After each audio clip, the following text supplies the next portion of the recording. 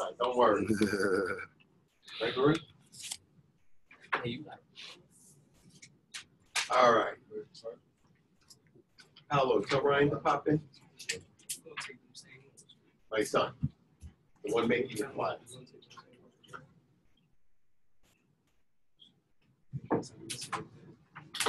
I'm gonna speak so fast, you're gonna think, you're gonna think we did three hours in one hour.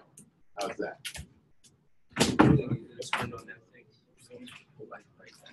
No, I won't go that fast.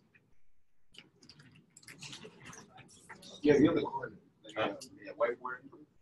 You, you mean a real whiteboard? Yes, I'm gonna get a kit that's set up on board. I gotta look at my other two offices where I have, I had about three extra. But I do have a little one over here that I gotta. We have a chair for you. Yeah, just put that anywhere. Okay, go. hurry up, hurry up, come on, I wanna get started. I'm already late. Poor Marie's gotta go back and stop Donna from having a heart attack. And that is not an easy task to do. Yes, and it's more of the emotions. Our branch manager is buying another new house in Hazlet. She's trying to get back in cover because the poor woman is having a heart attack and she's closing on two and three K for herself.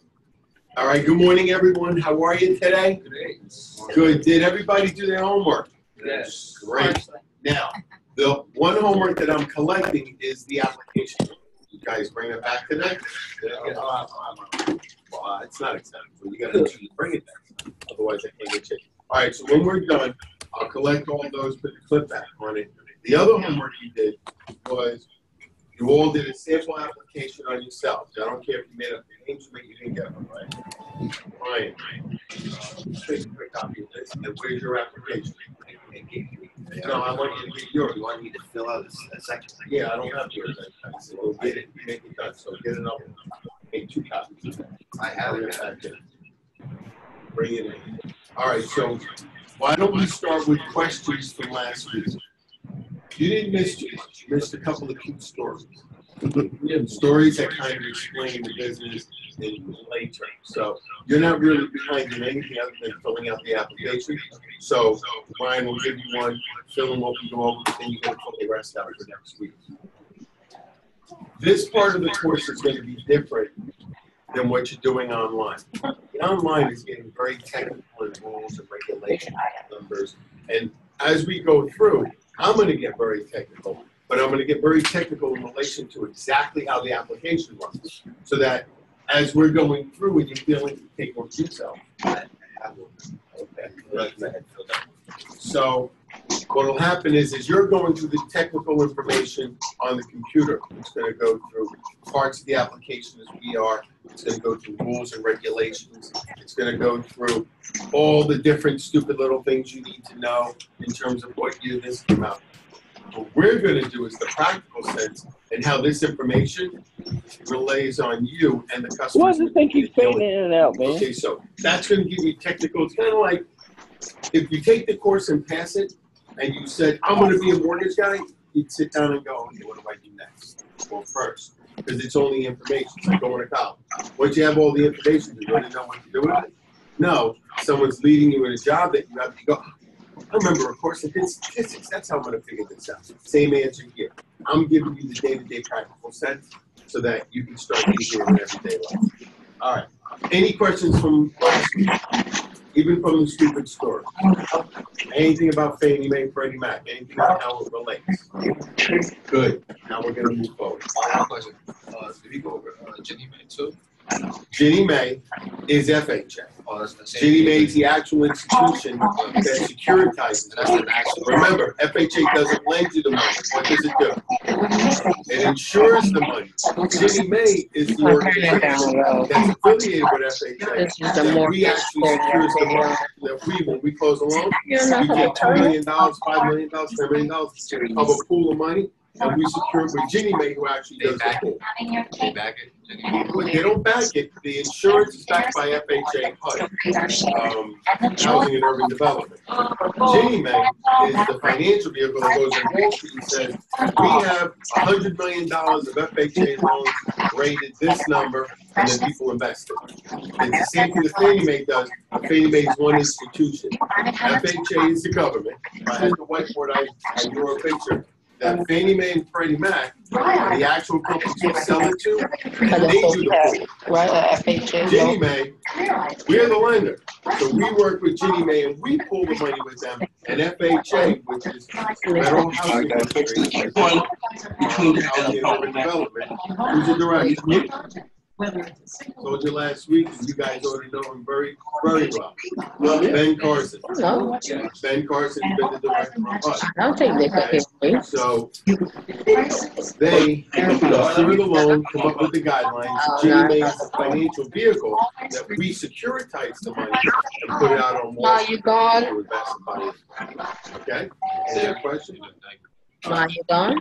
So the reason why I use, and, and I've done it with Wayne for years, the actual applications, because this is the document that you're gonna sit with your client, whether you do it on the phone, whether you use the computer, whether you're using paper and pen like you did at home, to take a full application from your client. Everything that we need to know, and we're gonna need to know, is gonna be on this page. So we're gonna go through an exact order, and when we get to certain issues, we're gonna go into in-depth detail. We may stop at income for, for a week and a half, or a lesson and a half, just to review all the different types of income and how to qualify. So that's why I had you write one on yourself. You now will go, oh, I thought it meant A, when what that line meant was B, and don't be afraid to ask the question. You're all new here. Even Marie, who's been in banking, but she wasn't in mortgage banking, and Paolo, we're all new here, so no questions are stupid questions. There's a rule out there that says the only stupid questions are ones you didn't ask. Because if you don't ask, you're gonna leave and you're still not gonna know. So ask the question, it's easy. All right. So if we started this and there's no more questions, we're gonna get to the very first thing on the front. And it says, this application is designed to be completed by the applicant with the lender's assistance. Applicant should complete this form as borrower or co-borrower. Who's the borrower? The person borrowing the funds. A lot of occasions, you have a husband and wife in the household. Nowadays, both people work. We still traditionally put the husband up front, but a lot of times what you're gonna do is look at it. If the wife makes hundred and forty and the husband makes fifty, you're gonna put her up front. We try to put the, the borrower who makes more money into the position of borrowing, and then there's a co-borrower. Now, you have borrower, co-borrower. Next thing I'm gonna tell you is, if the two people, if me and Ryan were buying a house together as investment, you would actually complete two applications. We wouldn't put both of us on one. You really only put husband and wife on one. Because when you run the credit, you run it as husband and wife on one. If Ryan and I, or you and I, were investing in a property, we would complete two applications, run two separate credits, because I don't want my credit merged with yours, and we'll get into detail in credit later. We would have two. So that's very important. If you're husband and wife, even if you're husband and husband, wife and wife in today's world, if they're truly married, you would put them on one form. If they're not truly married, they're just partners, you're gonna put them on separate forms. Okay? If I have a, a man and woman that are engaged and they're not married yet, we're gonna put them on separate forms until they're married, because I'm not gonna run the application. Okay? So it's not discriminatory, a man and a woman, it depends on whether or not you're actually linked legally. Okay? Because legally, when you're linked, whether you realize this or not, you can sign for your wife on documents of loans and lending, and she can sign for you. If you had a credit card, you can say, honey, can you sign? She can legally sign your name, and you can legally sign hers. That's part of that arrangement. I can't legally sign for Ryan now that he's 24, and he can't sign for me, nor could we sign for each other. Even though you guys may be brothers or cousins, you're separate individuals. You're not married, you're not married. Okay? So, borrow and co-borrow as applicable. Co-borrow information must also be provided in the appropriate box checked when, and then there's a box, the income or assets of the person other than the borrower, including the, the borrower's spouse, will be used as basis for the loan qualification or box, the income assets of the borrower's spouse, person, community property rights pursuant to state law will not be used. Okay, so, little details. So let's say you're married and you've got decent credit, but your wife's credit's horrendous. You got married a year ago, she never paid her bills, her FICO score is two. two, real bad. Judgments, collections, or your wife's got a lot of debt. She's got a car payment and ran up credit cards, but she only makes twelve, fifteen thousand a year. Well, I may not be able to qualify because even though you make good money, I have to take her income, which is minimal, or none if she's not working, and take all her debt and put on the application. Sometimes we make that decision that even though you're married, we're only going to use one of the two as the borrower. The other spouse will have some legal rights, okay, based on the laws of the state of New Jersey or whatever state you're in. But I'm not going to use that borrower in this application. So we have to check off yes or no all the time. You will not even get past the computer if you don't check off one of the boxes when you want to disclose. So you are either not using income and credit of a spouse or you are using. If we were partners, right, one of you guys and I decided to buy investment property and your crap is screwed up, but you have the money, well, we may make a deal that I'm going to do the loan, but you're putting up some money, we'll have our own agreement on the side. We can have an agreement of how we own the property, but legally, on the deed I may be on, then we can add you later. So those are the things that you will decide.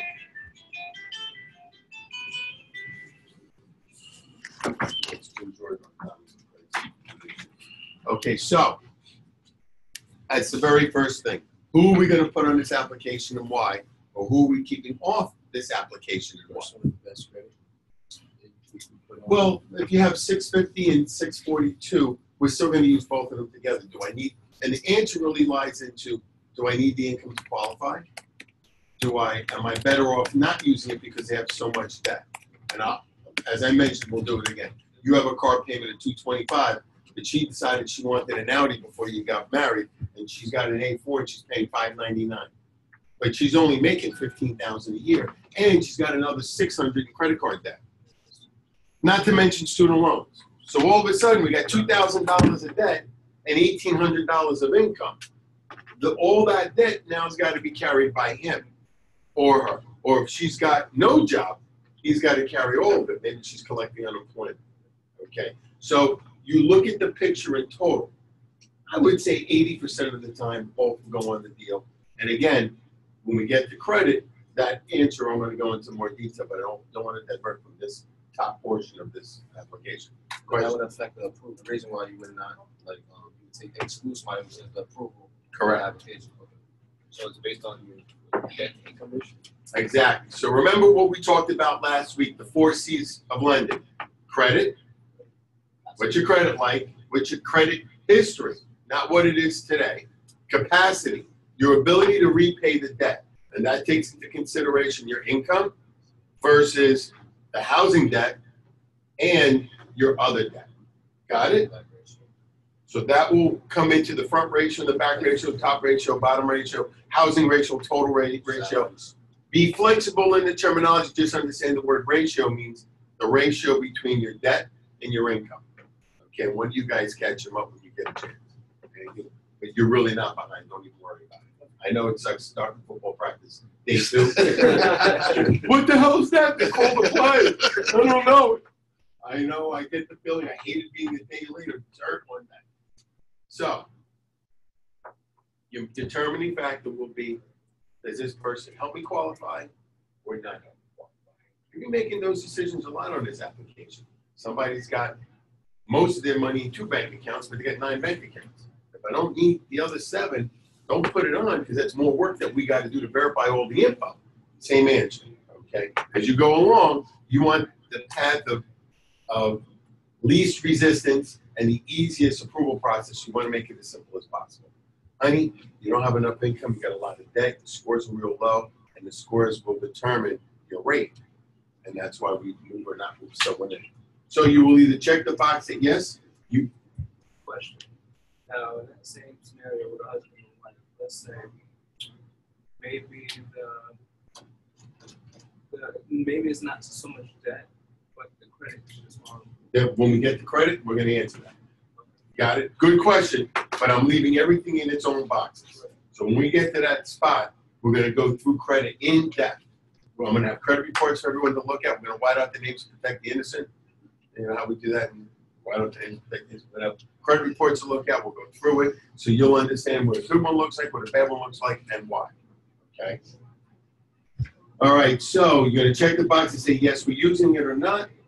Uh, but his or her abilities must be considered because the spouse or other person has community property rights pursuant to applicable law and borrower resides in community property state, blah, blah, blah, blah, blah. Now, since that is mentioned, if this is an application for joint credit, borrower and each agree that we apply for joint credit, sign below. Okay, now. Every state is, has its own rules. That's why we have states. California is a community property state. New Jersey is an equitable distribution state.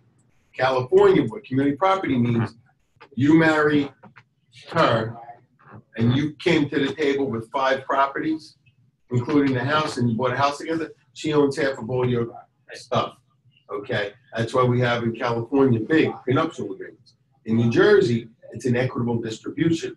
If I came to the table with a ton of stuff, the only thing that matters together is what we own together.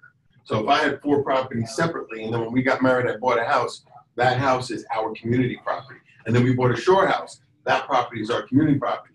The money in those accounts thereof, but this stuff is kind of held on the side naturally. The judges look at is equitable distribution. Some states like California, no, it's all lumped in. You're that's why basketball players, they don't even want to live in California because the rules that they have. Because they're like, what, are you crazy? You got all of it? That's why Tiger Woods paid all that money out, okay?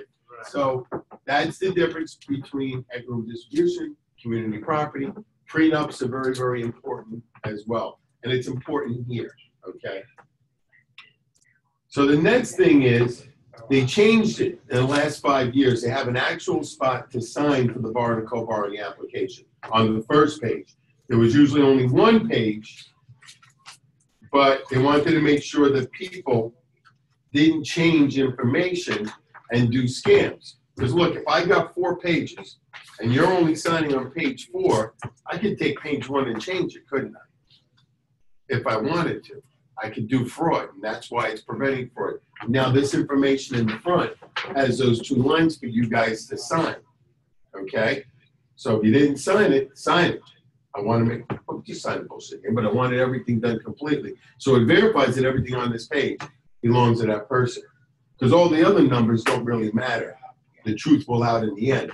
But if I change your name your social security number, that becomes here. So you're verifying that that's you on this first page of the application. Okay? That's very, very recent. That came out in the last five years. Before that, you only signed on page four. Page. Page four. Okay, and really, it was only two pages, front and back, legal side. They shortened it up for computer use, but literally, these were legal size, front and back. All right, now we get into some nitty gritty stuff. Type of mortgage and terms. What do you need, my brother? You can, you can. I'll do it. There I go. You Perfect. Now, the next box you're gonna check off would be mortgage applied for. Now, here's where as you, as a mortgage expert, a loan officer who's been through training and understands what the products are, you're going to choose, at this point, you have discussed the situation with the potential borrower. You helped them get a pre-qual, so you know what type of program you're gonna use. So that first box, and, and understand this works because when an underwriter is looking at a file, they start at spot A and go to spot Z. If I look at the signatures first on the back page, what does that matter? I need to know what kind of loan we're doing. Because remember, we discussed that although, just like religion, the base core religion is the same, each different type of loan or each different type of religion has its own set of rules. Same thing here. As soon as I look at that front page and I look to see what's checked, I go, oh, we're doing a conventional loan. or a VA loan or an FHA loan. Now I know what the rules are in my head and I start thinking of that as I'm looking at the rest of the application.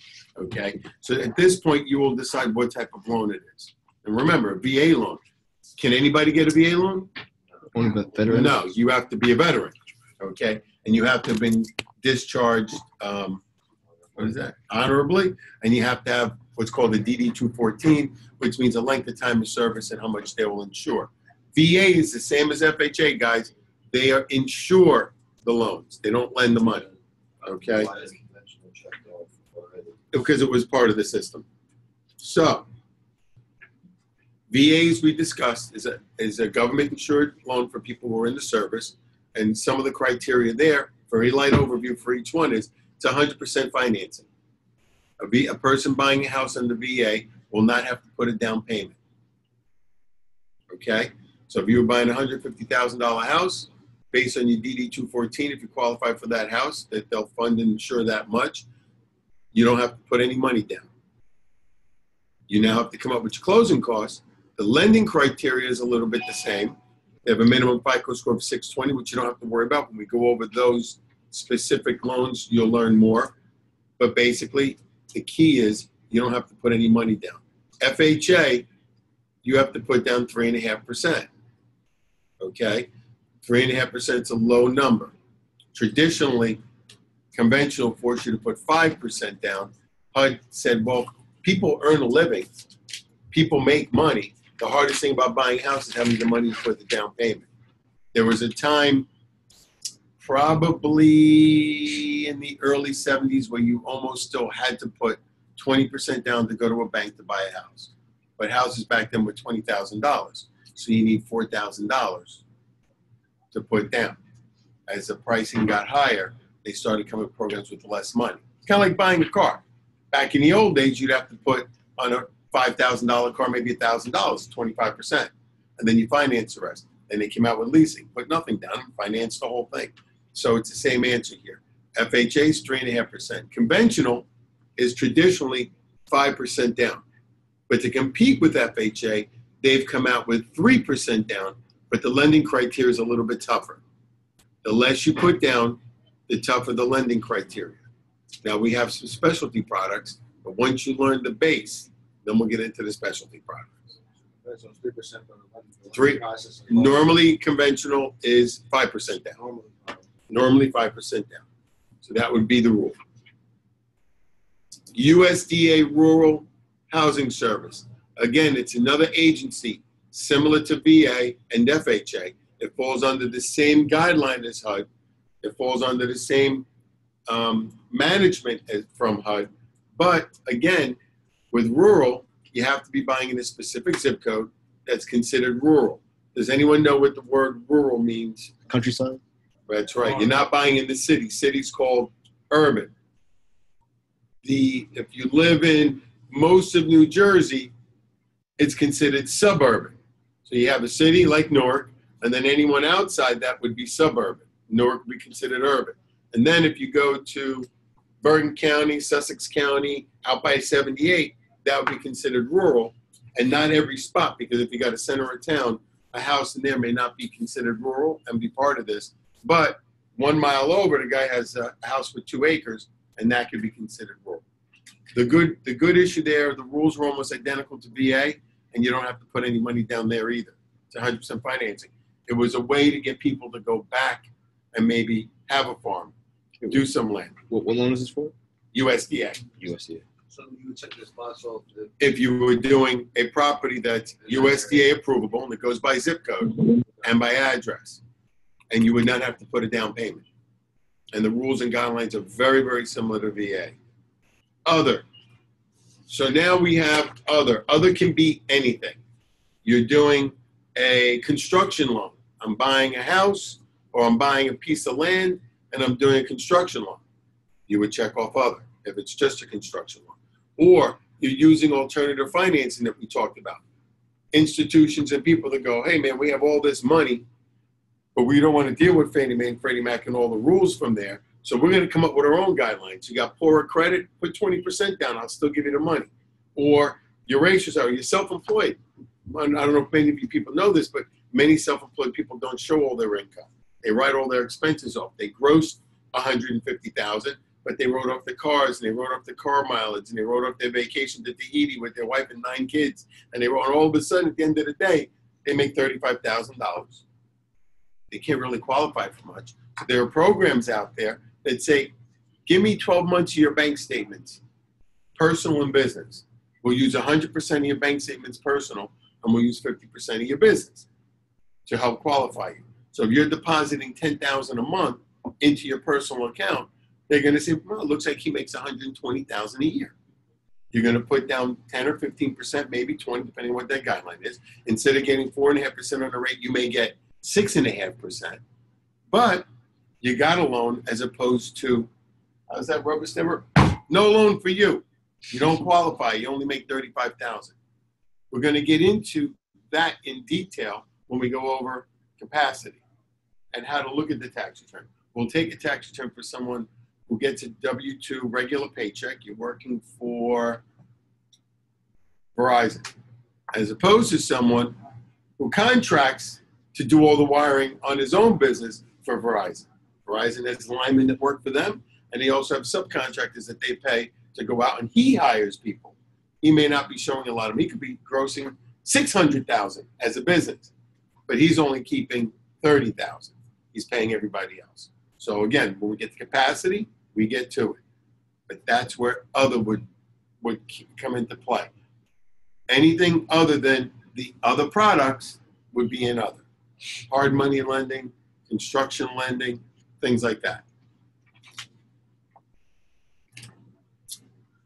Agency case number and lender case number. You don't have to worry about it, but what it means is this whenever you do a loan and it's FHA or USDA or VA, when you punch it into FHA, you got to get a case number before you can order an appraisal. The computer does it, staff does it. You don't get those numbers, but those numbers will be put into here. And again, when you open a loan, our computer system, our, our loan origination software, commonly known as LOS, loan origination software, we use Encompass. When you start the loan, it's going to pick up the sequence. You're in New Jersey, you're in this office, and the computer will pick that loan number for you and it puts it in there. So those two numbers are nothing that you really need to worry about. It's just a matter of the computer will put the numbers in there. Now we get to the all important loan amount. To save time, I'll go right through it. So let's say Bob is buying a house and we're going to do an FHA loan. And the house is $100,000. Without knowing all the details of FHA, we know he's got to put 3.5% down. So that means Bob's got to put down 3,500, correct? Which means his loan amount would be 96,500. There are other things in that property that I'm going to use a round number again. I'll help you out. Right. So once you put the down payment, 3,500, I have to lend you 96,500 because Mary, who Bob is buying the house from, is looking for $100,000. So Bob gives his down payment to the lawyer, and at the closing, his 3,500 and my 96,500 equal 100,000, and Mary's paid. Simple answer. We have a lot more details that go into that for each program, but that's just a simple answer. If But this is not the correct loan amount, don't you have to add? I just told you that's going to come into details when we go over the program. I'm just giving the basics. Okay. So if you were putting 10% down in that $100,000, what's the down payment? $100,000 Seven- seven- purchase, seven- well, it's- and I'm putting 10% down. What's my down payment? $10,000. What's my loan amount? 90 and 10 is what? 100. That's what Mary gets paid. Okay? So your loan amount would be based on minusing the down payment. The loan amount would fill up the number to get you to the 100% number to get the seller paid the, the contracted purchase price. Every loan's a little bit different. FHA has insurances that get added in to change the loan amount. But for argument's sake, it's not on every loan. Conventional loan, 100,000, 10,000 down, $90,000 mortgage. There you go. That's the basics of what you need to understand about what the loan amount is. Okay. Interest rate. Interest rate is the actual rate that you're charging the borrower on that loan. So if the interest rate is 5%, you would then calculate your mortgage 90,000, 10,000 down at 5%. And then the next number comes into play, which says number of months, correct? See that line next to it? Traditionally, most loans are 30 years long. And how many months is 30 years? There you go, 360. 12 times 30, 360. So you would put the rate of 5% and 360 months. If I was doing a 15 year loan, how many months would that be? 180. It's always good to have a brainiac, and you notice it's a woman. so we have one really smart girl in this class. Give me 500. There's two other smart girls. Oh, I'm just, uh, they're very smart, but they don't talk. They don't talk. We're gonna, I'm gonna have to, I'll have to give them their accolades later. Now, how we come up with the rate and how you come up with the term, we're gonna discuss later. But for right now, the rate, we just picked five percent and the term is three sixty. I'm gonna tell you ninety-five percent of the time, people want the thirty-year rate because they're trying to buy as much house as they can. Lately, we've been doing a bunch of refinances where people go, hey, I don't want to pay for thirty years. They want a fifteen-year loan. Okay, why? Because when you calculate interest over 30 years on 125, 150,000 loan, you're paying back $450,000. Damn. Or cut that in half if I only pay for 15 years. You're going to save $100,000. So if you can afford to make the higher payment, think about how old get- how old are you? 21. So let's say in three years you buy a house. Four years, you're how old? 25. After 30 years, how old are you? 55. 55. In 15 years, how old are you from today? In 15 years from today, I mean, from, from 25, when you're 25. uh, 40. 40. 40. So he could be paid off with his mortgage at 40 years or at 55. What do you think's better?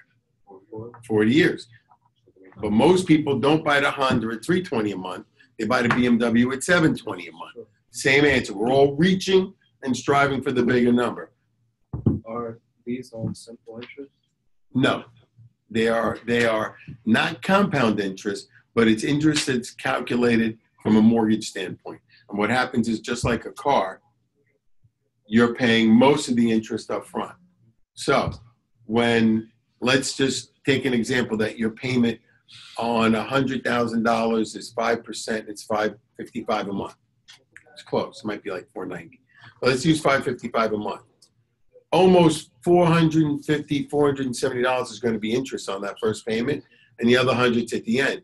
But on year 20 450 of that is it is interest i mean is principal and only 50 60 bucks is interest which is why i tell people all the time when i'm refinancing for them how long are you going to be here? Or why are you refinancing i could make a lot more money if i just do what's best for me but i don't so if you've been in the house for 18, 20 years and you're doing a refinance and you say, well, I just want to lower my rate. Well, if I really look at your principal and interest at the 20 year payment, you're paying way less interest than you were on year one. So on that $900 payment, let's say 650, 700 may be the principal and only 200 interest. Where if I refi that loan and save you $50 a month, we just revert it back to day one and 750 is going to be interest and 150 will be principal. So I, I asked them, why are you refinancing? And they may say, well, I need some cash to get my kid in college. Or I'm running into financial hardship. I want to refinance and lower my rate because I'm selling in three years. Well, now I understand why they're doing it. If they just tell me, well, I just thought I'd get a lower rate, I tell them, well, I could give you a lower rate, but the effective rate that you're really paying now is less than the rate I'm going to give you, which is going to lower your number because that payment was based on day one, not day 20. Do we get that concept? Don't be afraid. You So can it, ask questions. so it changes as the years go by It changes every month. every month. Every month you make a payment, so it's almost like an inverted yield curve. Interest, day one, principal here, thousand dollars, eight fifty, one fifty. Every day it does this. Every month you make the payment, it does this, and all of a sudden it changes. So that towards the end of the loan, you're paying all principal and the interest is very low. I really, really take a lot of time to help my clients because I find when I teach them this, guess what happens two weeks later? They refer me somebody. They might refer me to somebody's because instead of just making money for me, I help them do something that was right for them. And they're like, this guy could have written my loan, but instead he showed me that I shouldn't do it for whatever the reason is. And I get, they gave me two more people to help and try to get into a home or refinance them. So some days it works to your advantage to really look at what the client's needs are and make it work for them. Is the only way to beat those interest charges basically just pay more money in this case? Not really doesn't make a difference on how many times you pay. What happens is, as opposed to simple interest, simple interest is fixed. So what happens is, they, year one, hundred thousand dollar loan, five percent is five thousand dollars. Five thousand dollars divided over three sixty, and it stays the same. It's level. So you're going to put a principal into it with it, and that's either interest only or simple interest. The following year, you now owe ninety thousand instead of a hundred. That five percent is calculated over ninety, and your interest actually goes down. Even though it goes down in all of them, you're paying the same number. So simple interest is a cheaper way. Many student loans used to be simple interest. Mortgage calculations are a lot like vehicle calculations where they do it the other way. So what happens is you're still paying the interest based on the principal balance. So as long as you write on your pay on your on your um, mortgage stub two hundred dollars to the balance, all of a sudden on the following month you were supposed to owe eight hundred and forty dollars to interest, but because you paid two hundred dollars off, you owe, don't, don't get crazy now, eight hundred and thirty-eight dollars. Why? Because I paid two hundred more dollars of the balance. It's not gonna drop it by two hundred bucks. Take, take four percent interest times two hundred. It's eight dollars, not even, it's, it's eight bucks. So what happens is, you now paid more to the principal in that regular payment, because your interest was really less, because you lowered the principal balance. So a lot of times I tell my customers, look, don't go for the 30 year mortgage. Don't go for the 15. Take the 30 and do this. Make, I tell them take one twelfth of their mortgage payment and add that to here. So what happens is at the end of the year, you've made one extra payment. So if you owe 1200 a month, that's your total payment with taxes and insurance, make an extra 100. So at the end of the year, you paid a whole month ahead. Mm-hmm. Sometimes people have what's called a biweekly. There's separate companies that do it, and they don't do it the right way. But in truth, if you paid your mortgage twice a month, you've paid half that mortgage off before it was due. So again, it drove your principal down so that your interest drops lower. And what happens is instead of paying in 30 years, you'll pay off in 22, maybe 24, maybe 21, depending on how much you pay. If every year, and I tell my clients this all the time, look, January 1, don't make one payment, make two payments. Why? Because you get the benefit of that whole extra payment for the whole year. You just say, you know what? I'm going to save up a couple bucks, and every January, instead of paying 1200 I'm going to pay 1200 plus 1200 to principal. That did more than paying the extra 100 every month because you paid $1,200 down in that first month so that every month thereafter you paid, all of a sudden the computer's going, "Mm, he doesn't owe X, he owes X minus 1200. So that extra money is now going to your principal. So not only are you paying less on the interest, but that principal gets driven down even further beyond the 1200. You might actually drive that down another thousand dollars over the course of the year. Okay, and that's exactly how it works. So I've calculated if you do that, you're going to be somewhere around 20 years on a 30. If you pay the 100, you'll do it like 22, 23 years. But if you take $900 because it's principal and interest and multiply that by 12, somebody do 900 times 12. 1800. So I'm going to say you paid the mortgage off in 22 instead of 30. So it's 900 a month. How much is that? 10,800. Multiply that by eight because I paid my house off in 22 years. How much did you just save? You just gave it to me. I saved, I stopped paying, I paid off the house because I did this in 22 years. 22 minus 30 is what? Eight. So if my payment was nine hundred a month, how many payments are in a year? Twelve. Twelve. Eight, nine hundred times twelve is Um, ten thousand. ten thousand eight. How many years was I supposed to pay? Thirty. Thirty. I have eight left. Time ten thousand eight times eight, times eight. I just saved eighty-six thousand four hundred over those next eight years. That I could take that money now and put into my bank account or invest in a property or whatever. But you can actually make money with it as opposed to pay money out. That's the power of compound interest, thus power of not paying. The best way to save on this is just pay cash. Not too many of us have that ability. Or pay it off as quickly as you can. Get it done. A lot of people do that. They want to get rid of their mortgage so now that they can use that money for other ventures. Any questions on that? Does everybody get that premise? All right. So we did the loan amount, we did the interest rate, we did the number of months, we did the amortization type. Nope, that's what we're going to do next. Amortization type. That means what type of loan in the type of loan are we doing? Okay.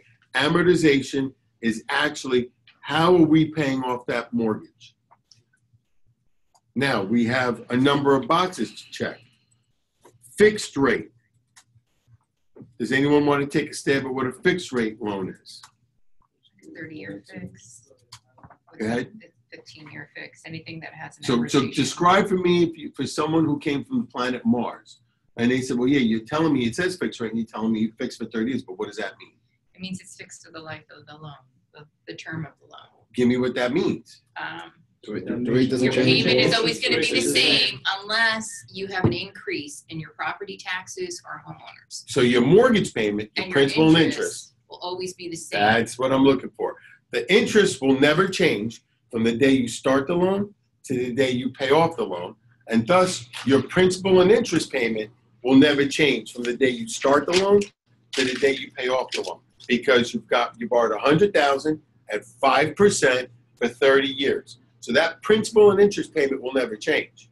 Your taxes may go up, your insurance may go up, but that has nothing to do with your principal and interest. But are you allowed to refinance that? You can refinance anytime you like. only time it changes. But that doesn't change, it's a whole new loan. So, well, I'll give you an example. Uh, what are you driving? What year? Two thousand five. You getting tired of it? I'm ready for something. Oh, that's right. So, are you going to replace it? Well, but I'm saying, when you get tired of it, what are you going to do with the car? You're going to buy a new car. What do you think you want to buy? So, you're going to have a whole brand new car. Same thing when you refinance your loan. You didn't change it, you went and got a whole new loan. That loan is paid off, it's gone goodbye, just like your Acura. No, no longer exists. You paid it to Bob's mortgage company, whatever it was, you took a whole new loan. You're not changing it because there is a term that refers to changing it. And that would be, what's that term? It's sticking in the side of my head. They do that when you, modification. Okay. A modification is when you have the same loan, but the bank says, okay, we'll give you a little rate because we don't want to lose a loan. You don't change the day you started, the day you went. They just change something in the middle. It doesn't happen that often, but it can be done. You, when you do a refinance, is you're taking your Acura and you're trading it in for an Escalade, whole new loan. Could still be a fixed rate loan, could still be an FHA loan, but it's a whole new loan. It's not just changing it. Okay, so amortization stands for two parts of the number how many years, and how are we paying it? What's the product vehicle? So, like we just talked about this Acura, you have Acuras, you got Lincolns, you got Hondas, you got Toyotas. Mortgages come in different product types.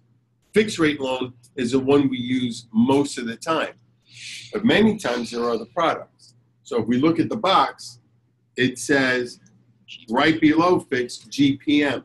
Now they keep putting it there, but I haven't seen a GPM loan written forever. But it's going to be on your schooling and it's going to be on your test. So GPM stands for graduated payment mortgage. Oh, I'm right. I'm right here. Okay. Graduated payment mortgage. This is the only time other than the course that you're taking and the test you'll take, that you're gonna need to know what this is because it's fell out of favor for a while, but here's what it does.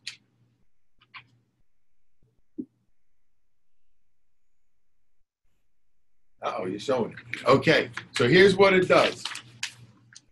A graduated payment mortgage was a way to help somebody get into a house today, knowing that they're gonna make more money later. So I'll give you an example. You just graduated medical school, law school, you just graduated college. Forget about student loans because 25, 35, 45 years ago, that wasn't too big of an issue. When Joanne graduated, he owed maybe 15,000. When I graduated, I owed 10. Am I close? Okay, so exactly. So the, the answer is you got out and you got your first job, and the first job I might have got a paycheck of 15,000 a year, which is pretty good back then. Okay, 1978, 80, 84, making 15, 20,000 a year wasn't great, but hey, I'm a kid. I only got a car. I'm living at home. Not too bad. So now you want to buy a house. Well, I'm in whatever job I'm in, and they know you're going to make more money. So what they did was they created a mortgage payment that started lower. Okay. And what they did was, even though the rate was the same, so let's say my rate was 5%, they gave me a rate lower for seven years of the payment.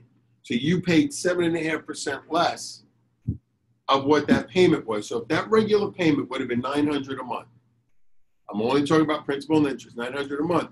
I would start paying 650 in the first year. Then in the second year, I paid seven and a half percent more. So I paid about 692. Kind of like getting a raise in your rent. You rent an apartment for 650. Landlord says next year, bro, gas went up, electric went up, water went up. I got to charge a little more. Year three, I'm now paying 725. Again, they added seven and a half percent. So I'm going to use a real number. If I started at 650, the next year I go plus plus 7.5 percent, and at six, wow, what did I say? What number did I say? 698. It's 698.75. I remember. Plus the next year, 7.5 percent, and it's 751. Third year, plus plus 7.5 percent, and it's 807. Fourth year, plus plus 7.5 percent. So what are they doing? They know every year I'm going to get a raise because I got a pretty good job. Okay, so every year they got me in the house at 650. Okay, and even though I was creating negative amortization, write that word down, boys and girls. We're going to come back to it. Negative amortization. It's right on your page. Amortize. Okay, so all of a sudden, by year four, that 868 is what I should have been paying all along. That's what the payment would have been, 868, had I paid the 5% but 100,000, I'm just making up the numbers. I should have been paid, but they let me pay 650. What happened to that interest that I didn't pay? It gets added on to the back of the loan. Now, for three more years, they go up for the full seven years. So plus 7.5%, plus 7.5%, plus 7.5%. And at the end of the day, that 858 became 1078. Why? Because just like the interest neg am, the interest started here, but you were paying here. The interest stayed here, but you now owed the difference from this payment up. So you're paying less, paying less, paying less, paying less. Then all of a sudden you got to three, three and a half, four, you broke even, and then all of a sudden you did this. Because you had to catch up on all this interest here, right? Because we started here and went like this. All this interest got added onto the back.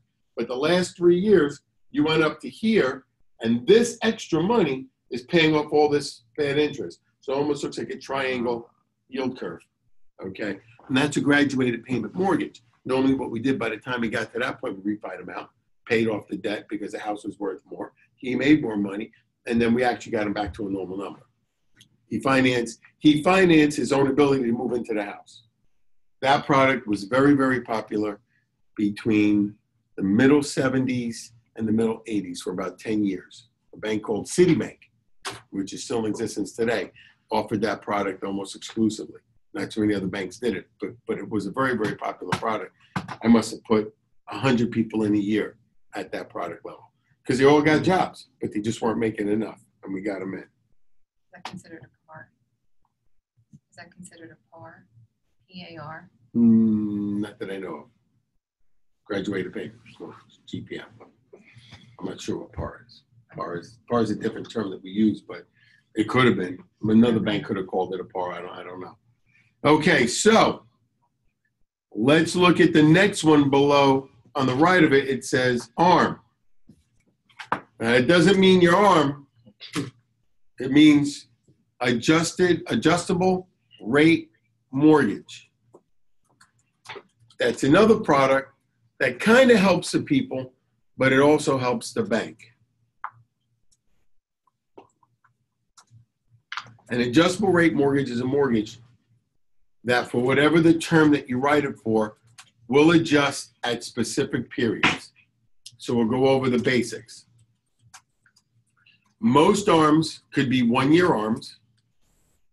So let's say we started that 5% rate loan in a normal time at 3.5%. Okay? So you're going to pay a mortgage based on 3.5%. But every year, if it's a one year arm, it could adjust up or down by 2%, depending on what the markets are doing. Okay? So you've got a couple real, real important things that go along with an ARM. So make sure we write on the, on the left side of the page, ARM equals adjustable rate mortgage. If you didn't do it, do it. Below it, I want you to write the word margin, M A R G I N, put equals profit to the bank. Below that, you're going to write index, I N D E X, equals what the bank paid for the money.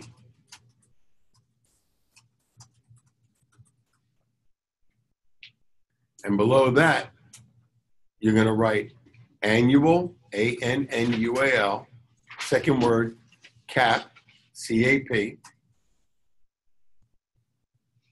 equals yearly change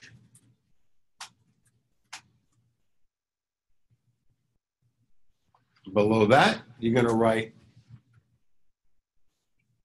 total cap equals max change. And we'll go back up to the top. So ARM and, and ARMs are becoming more prevalent over the over the last five and a half, six years, seven years since CFPB came out. Nobody was lending on ARMs. The rates were way off because the interest rate on the fix was real, real low, and it was artificially low. And when I explain to you a little bit about it, you'll understand. But now when we get into it, the rates are starting to change a little bit. So, ARM, adjustable rate mortgage, it means that your rate, unlike and the opposite of fixed rate mortgage, your rate will change at whatever period that agreement is. Okay? And that means your payment will change at the same time. So if you have a one year arm, every year that rate could change. It could go up and it could go down. And it could stay the same. If you have a five year arm, it will change once every five years. It could go up, it could go down, and it could stay the same. Uh, what, what influence? That's what we're gonna, that's what the rest of the words mean. If you have a seven year, 10 year, nine year, 13 year, one day, you could have a monthly arm. When will it change? Once every month? Every month. Does anyone have an example of what a monthly arm would be on something that most of you probably have? Vacuum? Well, you, ooh, you vacuum. Okay, I like that. He actually picked the product. Most of you will probably have something in your pocket that's based on monthly arms. No, your cell phone isn't financed on an arm. How many has a credit card? You got a credit card? That rate can change by the day. Every month, your rate on your credit card changes. Not your ATM card, because that's your money. There's no interest on your money. On a credit card, that rate can change every day. anyone ever takes a look, most y'all have seen commercials, five percent, seven percent, zero percent, but that's only a short period of time. Most credit cards are sitting between twelve and twenty-nine percent. And you're paying that every month it changes. Okay? There are a couple of mortgages that were just like that. They're called option arms. Save that for another day. All right, so we have arm. What was the line under it that I said? That's profit, uh, margin. All right, so the margin, I I should have actually did it the other way around. Let's go to index first. The index is the product that the bank is tying the arm to to charge you the rate. So the index is the actual loan vehicle. So we have out there what's called the LIBOR, which stands for the London Index Business, blah, blah, blah. And then we have the T-bill, which is where most of it is, okay? We have one-year T-bill, three-year T-bill, five-year T-bill, 10-year T-bill, 20-year T-bill. And the T-bill stands for Treasury bill. That's put out by the government, okay? You also have something that's called prime rate. That's the rate that the Fed puts out for the banks to borrow their money at. So you could be tied to any of them. The most common would be either a T-bill or a LIBOR.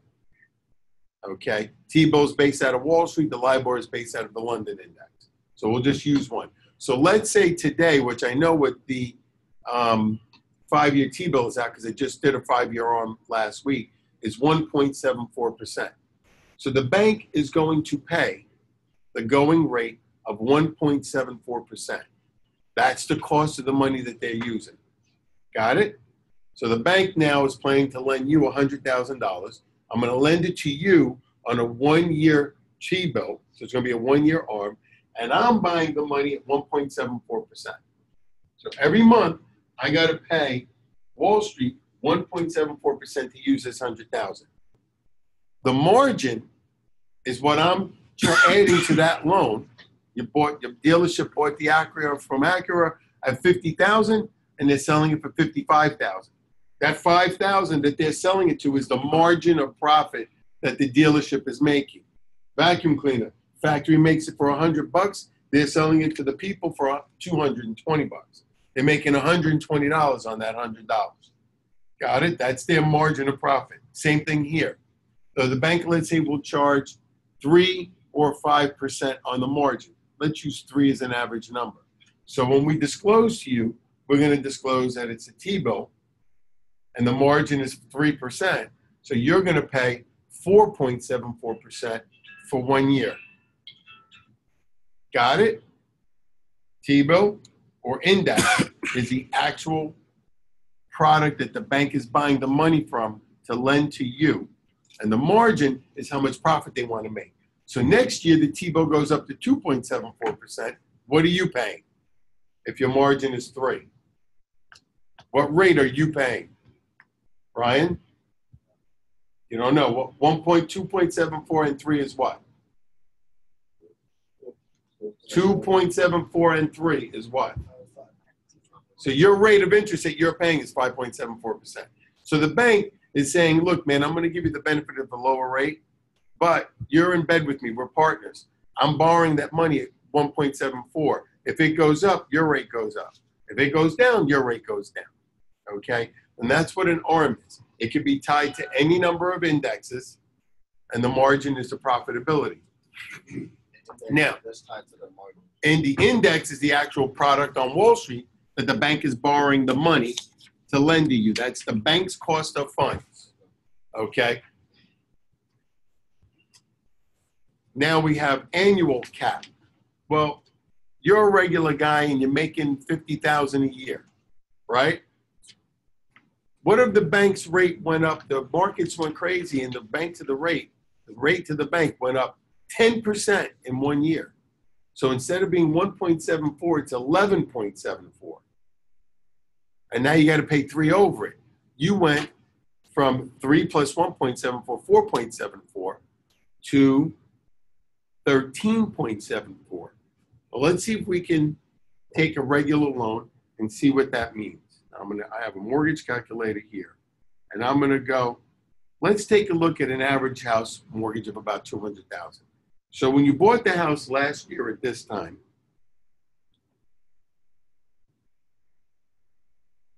you financed 200,000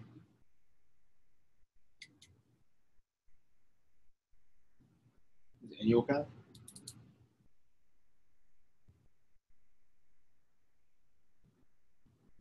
That's we're gonna go to annual. So now I'm gonna put two hundred thousand. And it was four point seven four percent, right? So two hundred thousand at four point seven percent over thirty years is one thousand forty-two dollars. Write that down. Write all these numbers down. Two hundred thousand dollar mortgage. Your index, so write it in the index is one point seven four, one, five-year T-bill. Your margin was three percent. So the rate we're using today is four point seven four, and that mortgage payment is thousand forty-two dollars. So let's say we didn't have an annual cap and you were tied in just like the banks with your credit card at whatever they want to charge. And their rate went up ten percent in one year. When you came due the next year, you're now paying ten percent plus three is thirteen percent, correct? What was the margin? The margin was 3%. was three percent. It was one up first.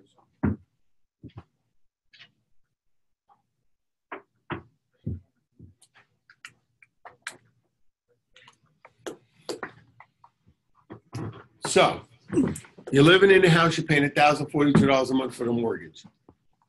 The very next year, they send you a bill for two thousand two hundred and twelve bucks. You think you'd be able to handle it? Went up more than hundred percent. You're at thousand forty-two, and it went up. So think about your regular lives on a day-to-day basis: kids, food, car, house, rent, everything. They send you a bill and say, "Hey, man, look, we got screwed. Rates went up." It went up ten percent. Now I'm gonna hit you up for your three. I, I gotta pay ten, and you gotta pay ten plus my three. You gotta pay thirteen percent. So that same two hundred thousand dollar loan is now gonna cost you two thousand two hundred and twelve bucks. That's what makes people go into foreclosure. So the government said, we've got to protect the people while we're also helping the bank. Okay? Because the bank buys their money out in advance. So they said, look, we have to have an annual cap that kind of protects everybody. And then we have to have a lifetime cap. Most annual caps are about 2%. So your rate can't go up more than 2% in any one year. Now, each product is a little different, but I'm giving you the base. Okay? And an annual cap usually is not more than 5%. I've seen a couple at six, but for the most part, you'll see two slash five, meaning the first change is two, second change is five. Now, when we get into some of this stuff, we'll actually have a little bit more detail, but I'm giving you a basis to understand so that as we go down the road and we're learning more things in detail, you're going to add the basis, and then you're going to learn the, the other stuff that goes along with it. There's a 225, things adjust, go from a five year to a one year. There's all different changes that the bank does to make things work for them, make it good for you, make it enticing. But the basics is usually 2% annual cap, a 5% life cap. So that you're never going to reach that 2200. You're going to reach, if you started at 4.74, 4.75, the most you're going to pay is 9.75, not 13. Even if it went up to 100, the most you're going to pay with the five cap is 5% higher than the day you started. We started at 1.74 plus 3. 4.74 plus 5 is what? 9.74. Okay, so those are little fail safes so that people do not fall into foreclosure. They don't they don't go bad. They don't do things like that. Okay?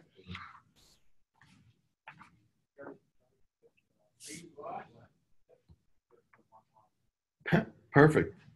11:15 just like I said. All right guys, any questions in detail the things we talked about in in those boxes? Arm. Arm, what's your question? That's the, that's the rates, right? With the interest.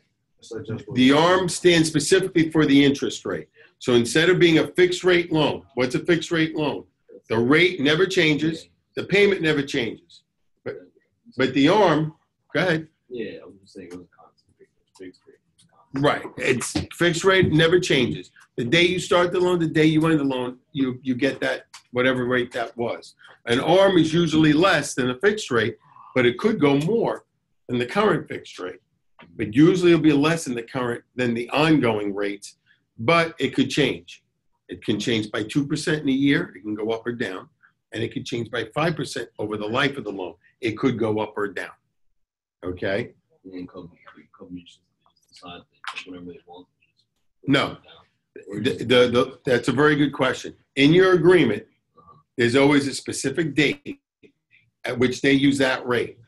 So that you can't feel like, well, it was real high on that day, and even though I didn't change till here, they grabbed that rate. Normally, it's the month before you expire. So let's say you bought the house on April 1st. On May 1st, or whatever date in May that they tell you, whatever the T-bill is, the five-year T-bill, so your index is a five-year T-bill, let's say. On whatever rate the T-bill is on May 1st, a month before your change. Some of, on my loan, it's two months before. Is it? I think they said the October before the change date. So let's just say one or two months. So if the T-bill goes to two, they send me a notice that on this date, on June 1st or July 1st or August 1st, your rate is two plus three, so you're at five, and you're gonna pay this payment. So I get a notification two months before, because what they did was they set up a few months and said, on November of the year, end of the year, we use that rate, because I convert over, I guess, in February, and it gives me three months to look at it, and then I start making that payment. And It's October and January one. Yeah, they do pay That's what they do.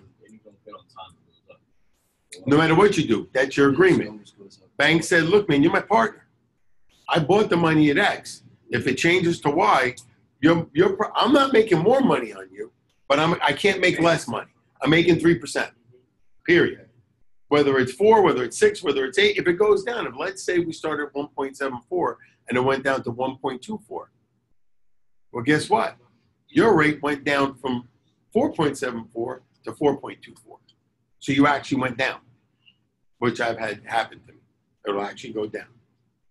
So depending, so the bank's saying if it goes down, you're my partner, you pay less. If it goes up, you're my partner, you're paying more. I'm gonna make my same three percent. That's how the banks make their projections on how they pay their bills. That's an arm. for the um, the, um index. You said that's the what the actual product uh, bank is paying. Yes. paying So you could pay a one-year T-bill, so they'll change every year. A five-year T-bill will change. Your rate is based on the five-year T-bill, and each of those things in the index, we look looking a Wall Street Journal. There's a one-year T-bill, there's a five-year T-bill, there's a seven-year T-bill, there's a ten-year. Choice. Just so you guys know, don't go anywhere. Ordered you guys all pizza. Oh, and stuff, So don't Cool. go anywhere, okay?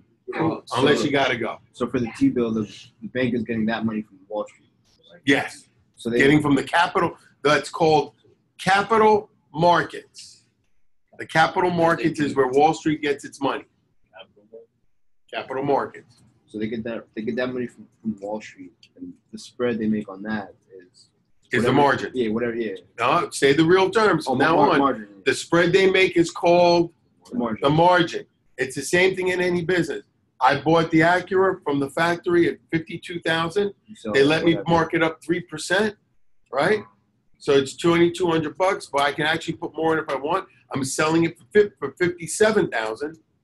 So I'm making five thousand dollars. Right. That's what they put on the sticker, fifty-seven. They pay fifty-two, they put it on the, on the floor fifty-seven, and then they negotiate from there, right? So you're saying, oh, okay, I get it. So you're saying once the bank gets that money and gives it to you, that they need to make their money back by charging. They, they need to make a profit, mm, Yeah. because a bank isn't a charitable organization. That's the- that's the interest. That's the interest, that's their money, exactly. If you need to roll, go. We're good, because I'm just asking questions. Bye, So with- everyone. See you next week. So- Thanks, Ed.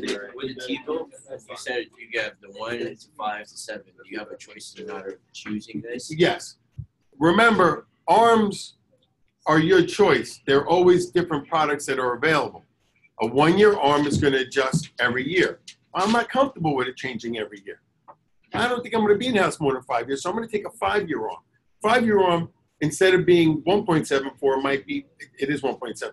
So let's say the one-year T-bill is 1.2. So three on 1.2 is 3.2, well, 4.2.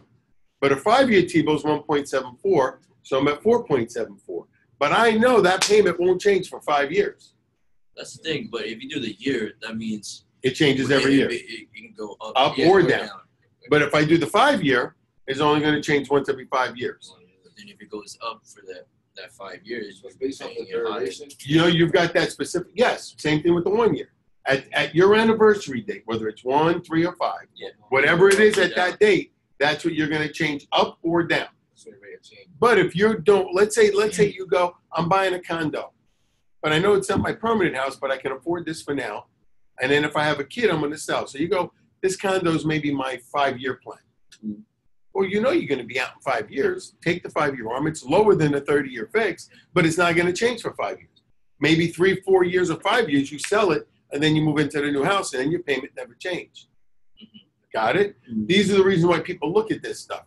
We have arms with big jumbo loans that we're offering at 3.9% because the bank wants an $800,000 loan and they're fixed for five years at 3.9. 30 year fix on a jumbo loan might be 4.75, so you're saving a point on that rate. Point on $800,000 is like nine, 1200 bucks a month. So you're like, I'm taking a five year on because let me see what's going to happen in five years. I might sell, I might be out. All right. What about a, a uh, LIBOR, LIBOR?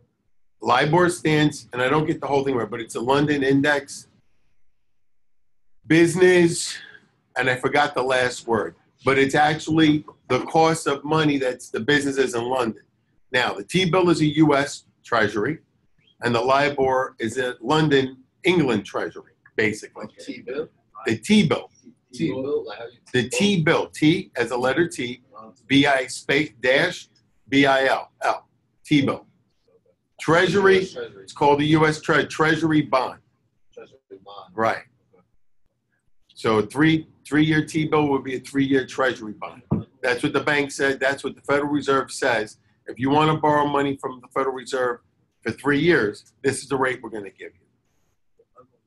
And the rates are, are really adjusted by the capital markets. London Interbank. That's right, London Interbank Offered rate. offered rate, London Interbank offered rate, which is, which is London's version of Wall Street, London Interbank, sorry, last one. offered rate. LIBOR, London Interbank Offered Rate. Got it? You good? Are you lost? Are you with me? You with me? You good? I kind of figured that. I don't get much response, so I'm about to drag it out of here. They offer rate. London Interbank Offered Rate, which is London's version of our T-bill. And they have the exact same thing. One-year LIBOR, three-year LIBOR, five-year LIBOR, seven-year LIBOR, 10-year LIBOR, 15-year LIBOR. Just so you know, write this down. The, the United States 30-year fixed rate loan is based on the 10-year T-bill. Thirty year what loan? 30 year, our 30 year fixed rate loan, the rate is based off the 10 year T bill. So what's the first question you're going to ask me? Hey, you missed this. The US 30 year fixed rate loan is based off the 10 year T bill, which is Treasury bond. T bill stands for Treasury bond. So why does our 30 year fixed rate based off the 10 year bond? Does anyone want to take a guess at that answer? Why do you use thirty year fixed rate loan? So when you get a 30-year fixed rate loan, there is a 30-year fixed rate bond. We don't use that as our basis, otherwise the rate would be higher. We use the 10-year T-bill. Does anyone want to take a guess why? Because the rate to be lower. The rate to be lower. That's, that, they want the rate to be lower, but there's another reason that's tied with that. To be more affordable. Or Make it more affordable, but it has to have, you can't just do that without having a basis to base it on. You have to, the- remember, the bank doesn't want to lose money. So if they base it on a 10-year price and you hold the loan for 30 years, if that rate goes up, they're screwed. Because their margin just got thrown out the window. so they base it on like the average, the average. Um, Okay. income. Like Average, rate, Nope. Average no, income, no. based on the average. What would, what would make the bank happy if you did something before that ten years is up? Okay. Pay Pay it off. So Pay it off. How would you pay it off? Three, two reasons. Only two reasons how you You got- pay, you the got three enough. reasons how you paid it Extra, off. You pay extra. You paid extra and paid it off. Oh, what? What? What's the other way to pay it off? You took out another loan. You took a refinance and paid them off. Fine. So you paid it off early with your own money. You refinance, and number three, you sold the house. So, So the national average used to be seven and a half years that people lived in a house. They either moved, sold, refinanced. It recently went down to six. Okay, so most people don't stay in a house or keep the same loan for more than six years. So they're like, well, why are we why are we basing this off the 30-year bond if we're not making money too? Because people don't even stay in the house 10 years. Okay. Fortunately, I'm in my house 15 years. In the last house, I was in 10 years. Exactly. I bought it in 91. I sold in 2001. But this house suited me long enough that I could stay in it. But many people buy a bigger house, move onto the water, want to buy a farm, want to downsize. You're in a condo first, then you buy a three bedroom house, then you have three kids, and you go, Holy crap, I need a four bedroom house. So you buy the four bedroom house, or you refinance and get cash to build the fourth bedroom, right? So the national average right now, it's sitting between six and seven and a half years that people keep that mortgage. With that said, you guys get ready to eat some pizza. I'm going to go to my office and answer these 12 phone calls, and you're done for today.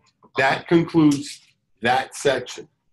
Okay. Can you just make something, so you said you wanted to, you gave this to them last week for. You're going to complete it on yourself. Okay, so I can Guess at the answers. I can just. Don't put your real social. Don't put your. I mean, look. Here's the here's the deal. I'm not taking them, so it's yours. Okay. But if you don't fill it out, you're not going to have a basis of knowledge to ask me a question because you're going to be hearing this from me for the first time. But if you filled it out and you filled it out wrong, when I start explaining what it is, you're now going to take ownership of what you thought the wrong was, and you go, "Oh, that's what it meant," and that's where we go with it. So for the next class, which is when you, you finish it over the application. So, well, we're going to finish the next part. What's the next part? Section two. What does it say? The, the, the borrower, wait, the property information. And purpose of loan. We're gonna we're gonna work on that all the way till we get the borrow information. Okay? Because there's a lot of boxes there, huh? We're gonna have to go through every one of them boxes. So these these classes are just based off of everything that's on this that application. And why? You see why? Why? Because well, that's a that's, that's the whole loan process. This is it. Yeah. Without this, there's no loan. Yeah. If I don't get this information and verify this information, Uh-huh. there's no loan. I give you one story I didn't give you last week. It's the audit. I, I kind of equate this whole process to different people being parts of different steps.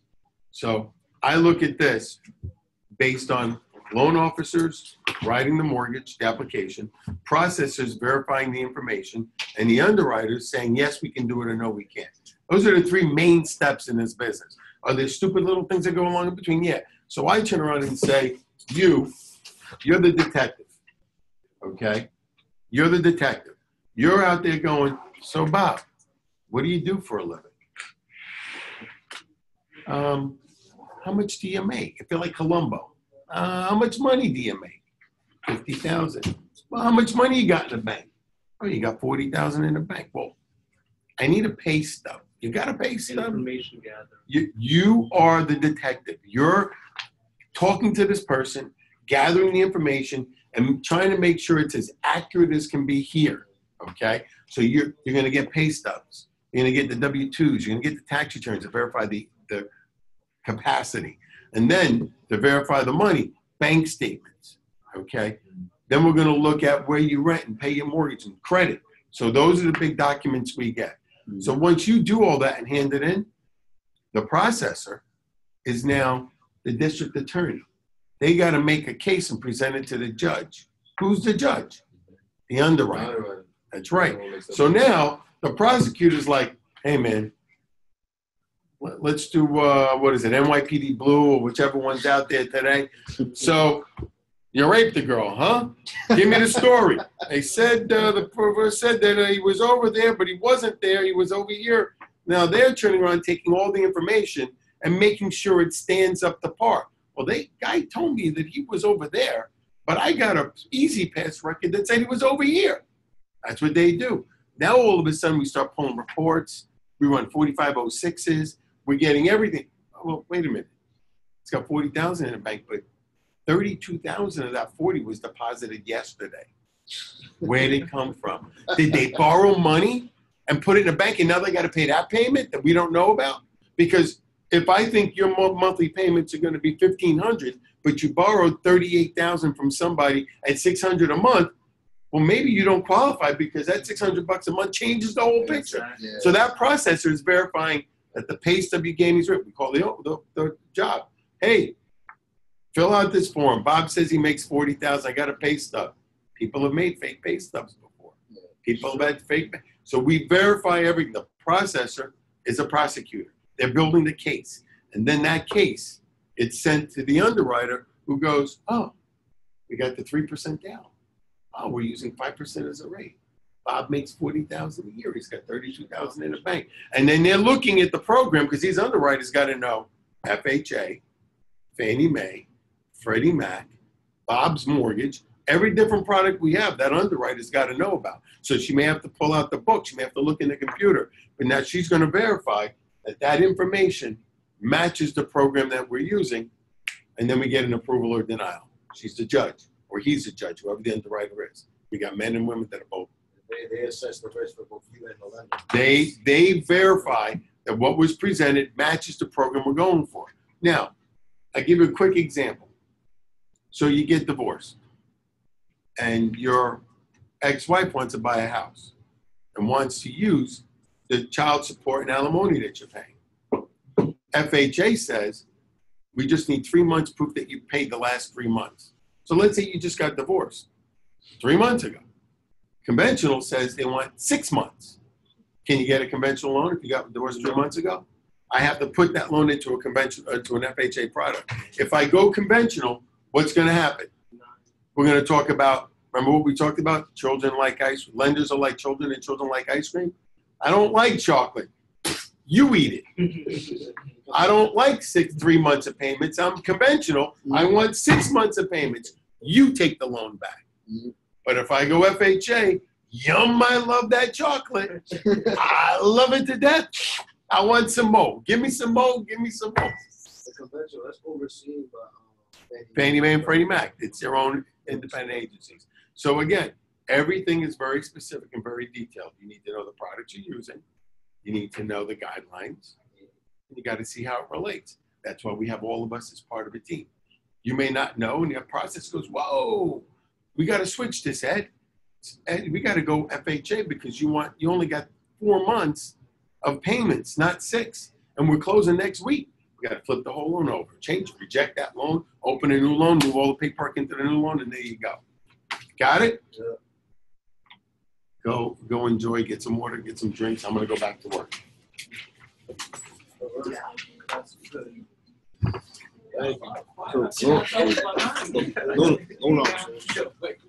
Oh, thank you. Who else has their? Bring them up, bring them up, and bring it to me.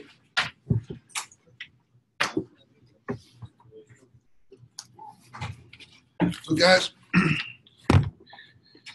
I can't, I can't let them know we were ending these questions. okay, cool. Guys, listen, I already sent out uh, yesterday's, Bring, I mean, la- last week's class. bring out all the chairs. I sent that out to you guys. We, uh, I was, this, this, this, today's session was recorded. I'll send the playback for today's, you have video and audio, so you can get a visual with it. We're excited, guys. I mean, those of you, we, I'm gonna sit down with my buddy here and work out the final logistics. We're ready, I'm ready to roll this out within the next week or so.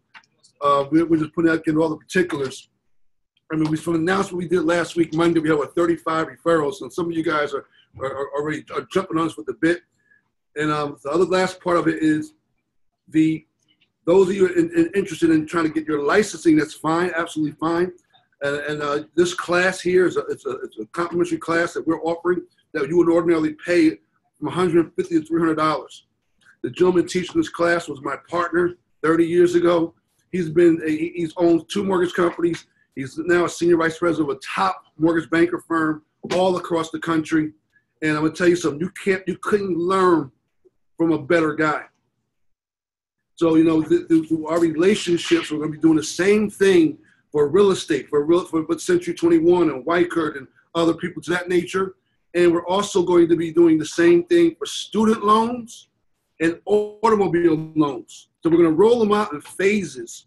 We have some major, major announcements that's gonna take place in the next few days. Guys, I'm gonna tell you, if you was on the call Sunday night, and I was telling you about getting your power back, understand where we're going. We got some major things about to happen. So I'm just preparing you for the journey. Um, we'll, we'll be making some announcements uh, over the next few days. Tomorrow night, uh, all some those of you who are the key leaders, you can get a text to get on the, on the call, and then we're gonna. Uh, those of you in Florida, I'm gonna be down to see Uncle Les on Sunday. I'll be in Florida on Sunday and all of our Florida team members, I definitely need to get with you guys. I'm, I'm there for one day. I'm, fly, I'm flying in Sunday and flying out Monday, but I need to get with you. Uh, I'm, I'm, going I'm going straight to the. He's at Uncle Les at the rehab. So as soon as I fly in, I'm going out to the rehab. Uh, then we can maybe meet maybe Sunday evening, or we all can meet at the rehab. But, but Sunday evening, uh, we'll try to get together all the you know, our partners there and the, the leaders in the Florida market, and kind of give you a little heads up of where where we're at and what's happening. Uh, and, and then the last piece is going to be, um, you know, I just came out. I just came from Atlanta yesterday, and I got I got a few other states I got to hit. Uh, but I'm gonna tell you something. We're gonna we're about to put a game plan together, a 90 day game plan that's going to wrap, wrap. I mean, no other company ever offered real estate as a network marketing. And the plan and the thing we got together as a this is going to be listed as a lead generation so the, these companies can pay us as lead generator for generating leads, but those when they get licensing will actually get paid as a licensed agent. And my agreement is, it got the deals go to my guys first before it goes to the company. So long as there's a licensed agent, we got licensed agents. So there's going to be a great opportunity for you to recruit uh, brokers and loan officers, and you know you're going to you're going to you're going to learn more as the time goes by. So with that being said, guys, today's class is over. Uh, I will send that playback out, and I'll talk to you guys real soon. And again, we got the big webinar uh, tomorrow evening. God bless and everybody have a good day.